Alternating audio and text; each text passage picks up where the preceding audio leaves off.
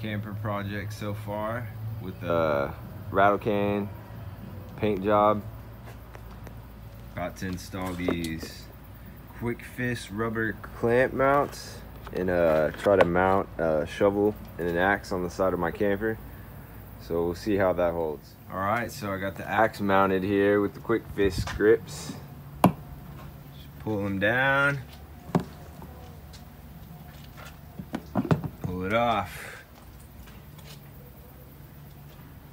These little rubber latches right here hold on to it super well. Uh, so now I'm gonna put the shovel on. This, there you have it. This, this works.